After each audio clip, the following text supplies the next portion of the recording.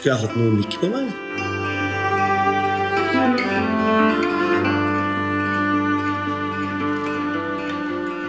Jeg har vel et temperament som på en eller annen måte overføres til maleriet.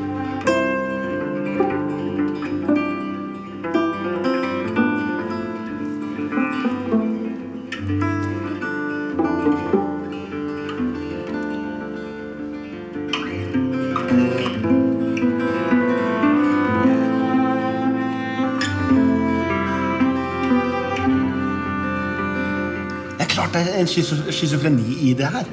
For jeg gjør det veldig fint. Sånn. Det er den snille, den snille maleren som gjør det veldig nøye og forsiktig. Og så er det den slemme maleren som river ned og ødelegger.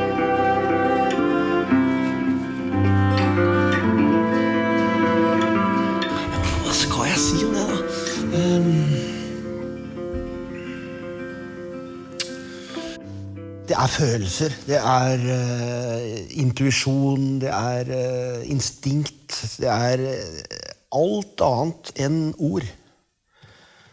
Og når malere blir avkrevd å si noe om bildene sine, så sier de ofte veldig mye vas, og det skjønner jeg godt. Det gjør jeg sjøl òg. Når jeg blir krevd å si noe fornuftig om bildene mine, så sier jeg veldig mye vas. altså. Det ender ofte opp med at jeg prøver å la være å si noe, da.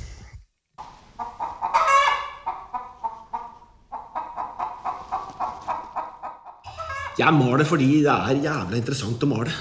Og eh, fordi jeg har en besettelse for hvordan ting ser ut.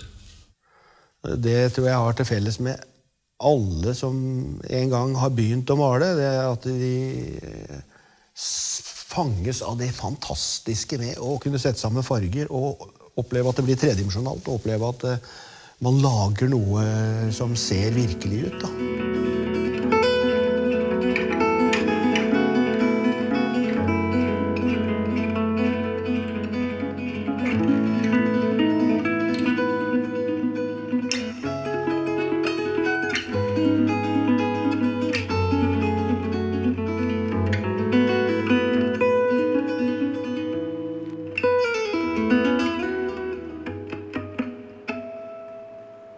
Bildet kan ofte begynne som veldig vakkert. Noen ganger kan jeg bruke lang tid på å male det så fint jeg bare greier det. Kan se ut som et eh, glansbilde. altså. Male et portrett, eksempel. Begynne i øyet og male liksom, irisen og glimt i øyet og blinket på nesa. og Liksom, gjøre ting helt dønn strøkent. Men etter hvert som da bildet utvikler seg, og, og jeg ser at dette her er, blir bare en illustrasjon, så får jeg behov veldig fort til å begynne å rive ned. Uh, og Det kan være å ta vindusnalen og bare dra over hele bildet igjen. og Da står det små rester bare igjen av dette her. Så man må aldri være redd for å ødelegge. Eller for å rive det ned, eller bare for en bitte liten bit kan bli igjen. Eller rett og slett bare vite at det har vært der en gang.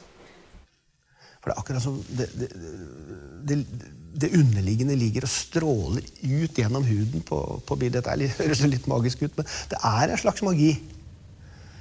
Eh, og det er noe som eh, gjør at jeg orker å holde på med dette her i tiår etter tiår. At det faktisk det å komme inn og begynne på et nytt lerret og aner ikke hva det kommer til å bli, og se det stige fram og rives ned og stige fram og rives ned. Og jeg vet at eh, på et eller annet tidspunkt må jeg bare ta det bort.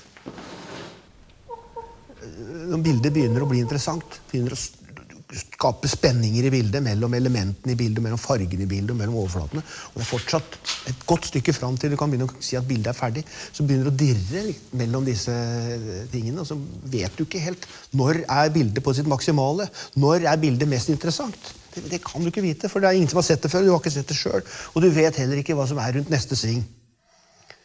Så øh, fristelsen til å gå videre i et bilde når du holder på, den er enorm. Veldig vanskelig å stoppe når du er i et stort bilde. Kanskje, kanskje det blir enda bedre. Kanskje det blir enda... Nei. Og så begynner du å snu, og så prøver du å rette det opp, og så Nei. Vekk.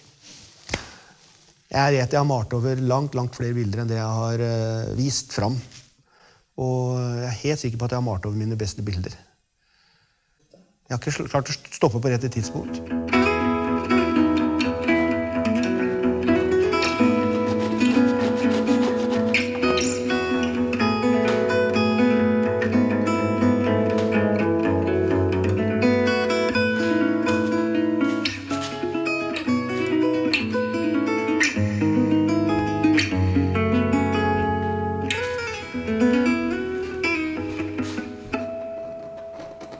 Etter hvert som jeg står og, og strever med et bilde, da, for det er som regel ikke lett. Alltid motstand. Uh, malingen uh, skal blandes, og den skal blandes riktig, og den skal uh, ha den rette konsistensen, og, og så skjer det ting underveis. Det renner. Det er farger jeg ikke hadde tenkt gjennom at ville møtes, og som noen ganger passer sammen, andre ganger ikke passer sammen. Eh, noen ganger gjør jeg ting som er veldig kraftfullt. da. Går løs på bildet litt med litt trøkk, ikke sant? og da, eh, da skjer det rare ting. Det kan, noe spruter, eller noe renner, eller noe skjer som jeg aldri ville fått til ved å være veldig presi, bare ved å være presis. Eh, og da er det om å gjøre for meg å registrere de heldige uhellene. Og administrere uhellene gjennom hele bildet. Si hvilke skal være med, hvilke skal ikke være med. Eh, og, og styre bildet i den retningen jeg ønsker. Eller å se ja, nå har bildet noe å, å si her, nå begynner bildet å ta over. Bildet begynner å, komme, med komme med forslag da, til hvordan bildet egentlig kan være. Og da er det interessant for i hvor stor grad skal jeg styre det etter min vilje? Hvor stor grad skal jeg undertrykke bildets vilje? Eh, veldig ofte så eh, maler jeg meg bort hvis jeg undertrykker bildets vilje veldig mye. For eh, det er en slags sånn samtale mellom bildet og meg.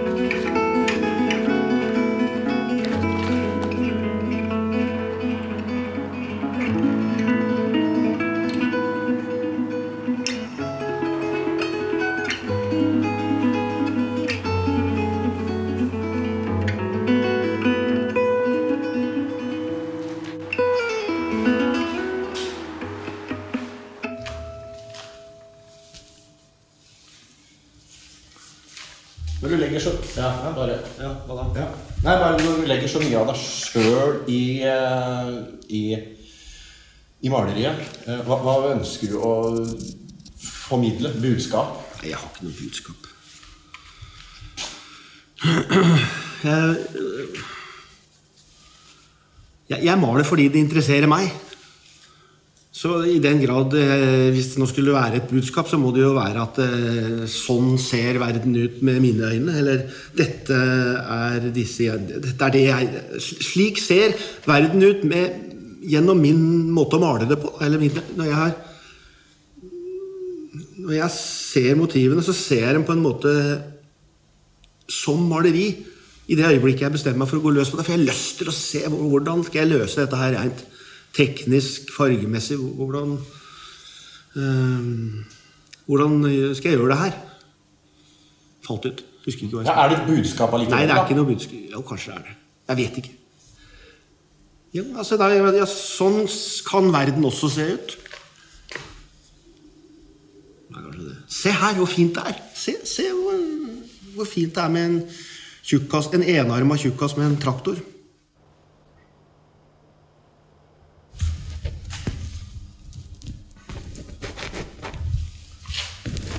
Hvor viktig er motivene?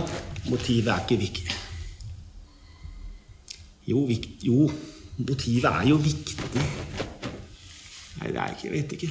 Jeg synes det, det, er, det, er, er mer givende hvis det er et litt lekkert motiv. da. Det er noe interessant eller vakkert. altså det damer, ikke sant? Eller, eller biler, eller uh, noe som er uh, som har uh, noe i seg sjøl. Sånn, det, det, det er jo mer interessant enn å male noe som ikke har det.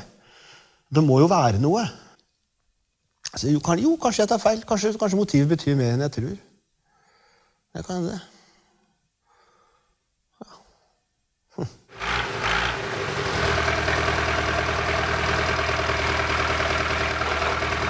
Her er jo min gode venn eh, Anund Helgesen, en enarmede banditt. Som står foran traktoren sin med harabikkjene sine. På farmen sin på vestsida. Vi spiller sjakk sammen, vi jakter sammen. Og gode kompiser fra barndommen av. Jævlig moro å male Anund. Så det er en nærhet til denne fyren og det han holder på med. Det, livet han lever, ligner ikke så veldig lite på mitt. på en måte. Så jeg liker at det er en god øh, At det er en nær forbindelse mellom det livet jeg lever, omgivelsene mine, telemarksnaturen, øh, og det jeg maler eller skriver. Eh, det syns jeg gir en slags mening, da. Uten den nærheten, da?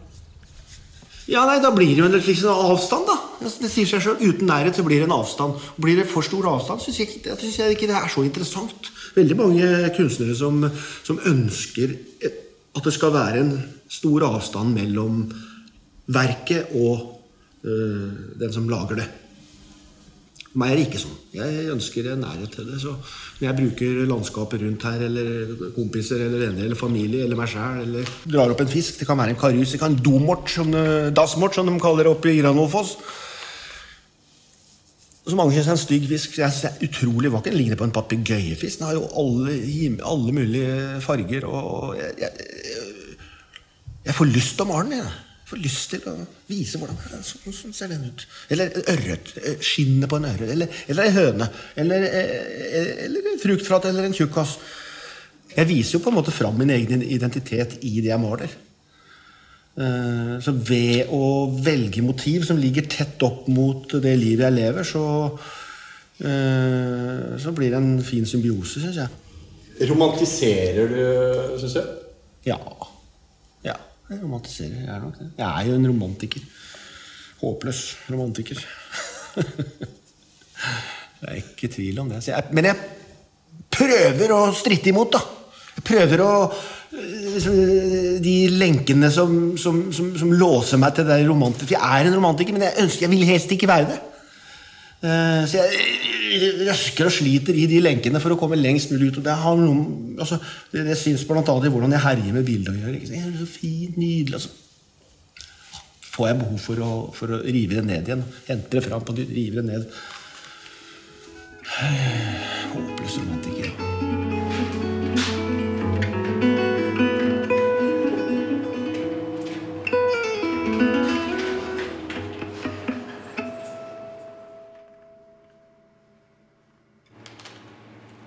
Altså, jeg har egentlig alltid hatt lyst til å se malere male.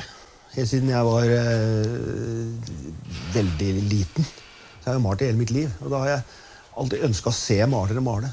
Og det har jeg aldri fått lov til. Malere tør ikke vise fram. De holder korta så tett til brystet, og de gjemmer seg bort, og de låser seg inne. Og jeg låser meg inne, jeg òg. Men, men eh, det å filme mens jeg maler, det gir faktisk noe, det. Det, altså, det blir en slags samtale mellom meg og kameraet på et vis. De filmene jeg lager, er liksom filmer som jeg veldig gjerne skulle ha sett sjøl. Skulle ønske at noen hadde lagd sånne filmer om hvordan de, hvordan de lagde bildene sine. Skal si at Lucian Freud sine filmer eh, om seg sjæl, eller eh, Egon Schiele sine, eller eh, både, både Munch og Schiele eh, var jo eh, opptatt av både film og, og, og foto. Men jeg har aldri sett, sett at de har filma seg sjæl når de jobber.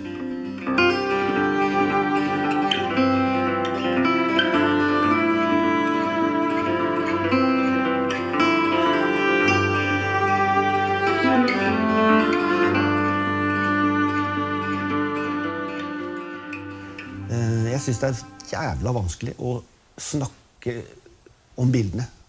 Eh, Folk stiller spørsmål, og da kan jeg svare på det i en teknisk art, men snakke om bildene, det blir ofte eh, så blir ting forenkla, og dessuten så er det gjort i farge og strøk. Og, så det, det maleriske uttrykket er vanskelig å prate om, for det er malt. Lettere å prate om litteratur enn å prate om, om billedkunst, egentlig. Men filmene de viser jo hvordan jeg gjør det. Så jeg kan på en måte øh, forklare hva jeg holder på med bedre ved å vise en film av det. Og ved å klippe det tight og vise fram akkurat de nøkkelscenene kan du si, som, som skjer øh, underveis. Hvordan jeg blander inn tempera, mm, hvordan jeg setter fargene sammen, hvordan jeg setter av strøket på lerretet. Eh, hvordan jeg kan tørke det av i en skrape det av igjen. Eh, hvordan en lasur renner over og tar med seg noe av fargen under hvis den ikke er tørr. Sånne ting. Det er eh, litt vanskelig å forklare, eller høres ikke så veldig interessant ut når man snakker om det. Men når en ser det, så blir det straks mer interessant. En annen ting er at det legges ut på YouTube og ut på nettet, så, så deles det jo. Deles på Facebook, deles over hele verden. Og plutselig så får jeg på en måte vist hva jeg holder på med. Jeg får delt med verden på en helt annen måte enn jeg får ved bare å vise bildene, faktisk.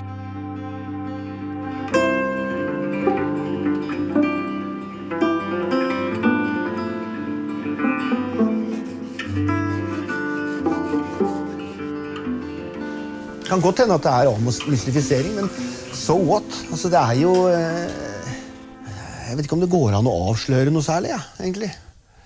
Jeg klemmer ut fargene, og de fargene blander jeg sammen og setter de på. Altså, du ser jo faktisk selve prosessen. Så jeg lager de filmene jeg gjerne skulle ha sett sjøl. De filmene som øh, viser øh, en prosess som jeg aldri har fått lov å se. Så selv om det er min egen prosess jeg filmer, så, så gjør det meg faktisk interessert. Jeg blir interessert i det jeg sjøl holder på med, når jeg ser det på film.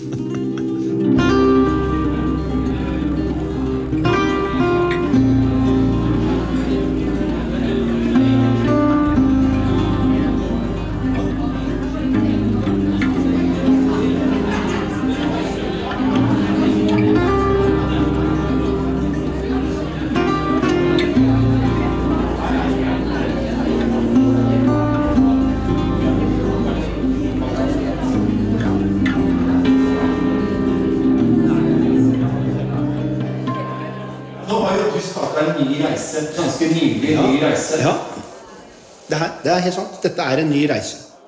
Nå er jeg ute på øh, savannen, hadde jeg nær sagt.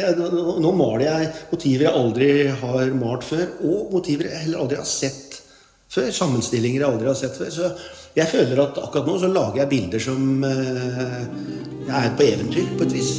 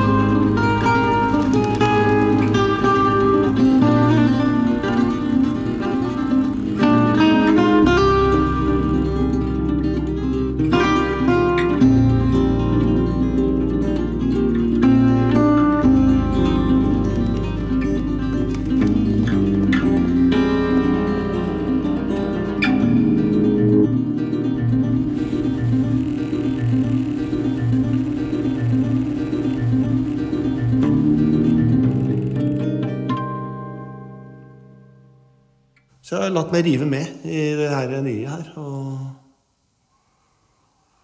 ja, jeg har tatt noen skritt tilbake igjen sånn i forhold til at jeg har henta inn eh, bjørka og henta inn eh, abboren og, eh, og de norske, den norske våren. Og så her for eksempel, så har vært ute og plukka, plukka inn bjørketrær, kan du si. Så er det jo noe hjemlig med det, da.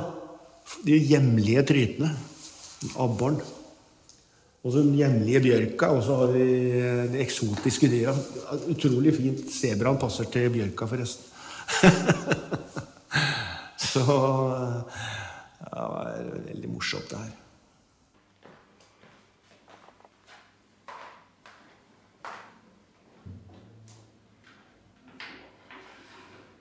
Og så er det så mye morsommere å filme.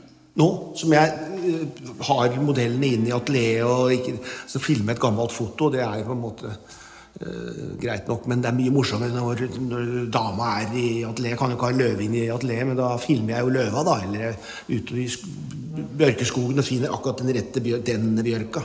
Akkurat den her. Mye morsommere både å lage og se på, tror jeg òg. Og I tillegg så har- finne ut at jeg vil vise filmene sammen med bildene. De passer jo sammen. Det er, eh, jeg har- filma samtidig som jeg har malt, så er det klart at det er eh, helt riktig at filmen henger ved siden av maleriet. Så man kan stå og se på et maleri, og så kan man se hvordan det blir malt. Og se hvor eh, motivene er henta fra. Og fint å ha med filmene i utstillingene. Filmene har blitt mye mer novellefilmer enn det de var før. De forteller mer historien om hvordan bildet blir til. Det er sånn som her, for eksempel, så hadde jeg tenkt at det skulle sitte tre damer og spille cello innenfor den gullramma der. Det var ideen. Så jeg hadde jo tre damer med fullt utstyr og cello som satt og spilte opp på atelieret. Og de skulle inn der, men det, det, det, så var det ei av de som plukka ut denne bassen og begynte å spille på den. Og da så jeg at det var mye bedre. Og dermed fikk hun den plassen. Og når jeg skulle begynne å male inn disse damene, da, så, så blei det for mye. Så det passa ikke inn. Så da ble dette landskapet som jeg hadde gått i når jeg samla inn eh, referansene til bjørketrærne. Så ble det isteden. Sorry, jenter. Det får bli med neste bilde. Kan jeg by på? Nå har jeg malt aleine i årevis. Jeg har jo, I mange mange år har jeg bare låst døra og stått og holdt på med min egen greie. Jeg jobba med modeller for lenge siden. Men det begynner å bli riktig lenge siden. Nå, nå har jeg jo hatt masse modeller det siste halvannet året. og det ene er artigere enn den andre Det har vært en fest fakir som har blåst flammer opp i taket. Hatt eh, musikere og eh, alle mulige merkelige eh, burleske situasjoner, da. Veldig morsomt. Veldig, veldig, veldig morsomt. Eh, helt annen måte å jobbe på.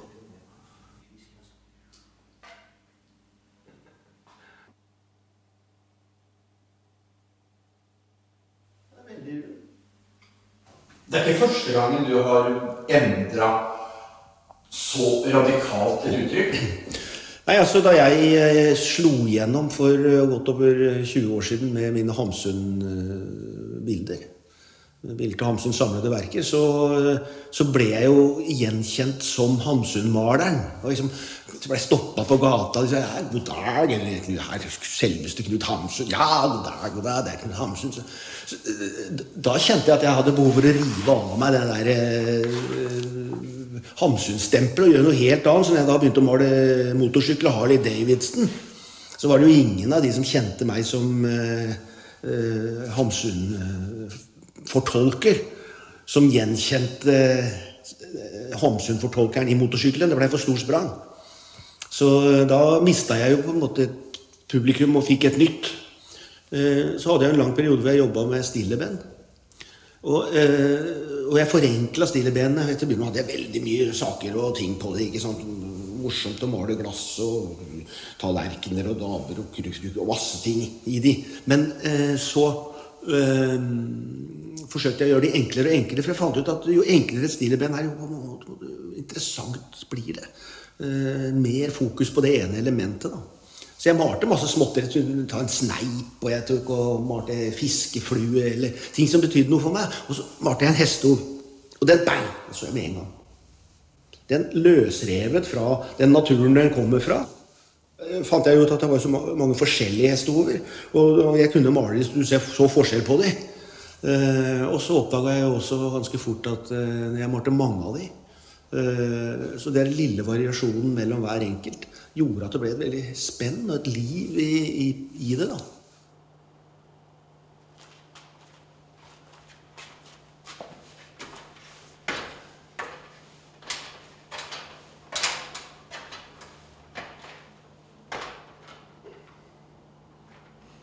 Det er jo så stort sprang tilsynelatende motivmessig mellom hestehoven og motorsykkelen og Hamsun. Men jeg ser jo at det faktisk er en del likheter. Så når jeg gjorde det, dette her eh, tilbakeskuende bildet hvor jeg henta opp eh, mange av mine tidligere arbeider fra forskjellige stopp underveis, eh, og skulle male det og inkorporere i ett enkelt bilde, så, så, skjønte jeg jo at eh, det er ikke så stor forskjell på de forskjellige retningene som det jeg har trodd. Tilsynelatende er det store forskjeller, men eh, rent malerisk, når du kommer ned på det faktiske, så er det store likheter likevel. Og det ser jeg veldig godt når jeg ser på bilder som, uh, eh, har så mange elementer fra så stort spenn i tid. Å male det bildet det var faktisk forløsende. Jeg hadde ikke forestilt meg at det skulle bli så interessant å sette opp disse forskjellige retningene mine så tett på hverandre. Forsøke å få det der samla. Og se likheten mellom de forskjellige mm, maleperiodene mine satt opp så tett. At det skulle kunne fungere, det visste jeg heller ikke. Men jeg syns jeg faktisk fungerer veldig bra. altså.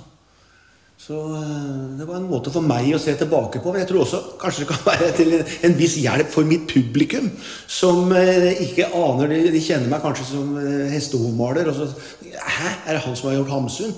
Eh, Hva? Er det han som gjør gjort motorsykkelen også? Men disse erotiske bildene, er det også han?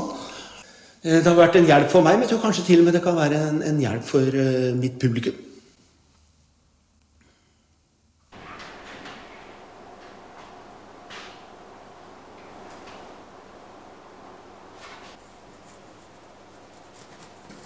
Hvis noen hadde fortalt meg at jeg skulle male afrikanske dyr eh, At det skulle bli mitt neste, hadde jeg ledd, tror jeg. Afrikanske dyr. Og mønster. Og gullrammer. Damer kjenner jeg igjen. Damer kjenner jeg igjen. Det har jeg holdt på med hele tida. Men afrikansk Jeg har aldri malt, en, eh, aldri malt et afrikansk dyr, jeg. Jeg trodde jeg var så veldig opptatt av det norske og sånn. Jeg har sikkert malt elg og sånn i Og gud veit sikkert i solnedgang. Som guttunge da jeg begynte å male da jeg var ni år, og da malte jeg jo de elgene i den solnedgangen. Det er noen malerier siden.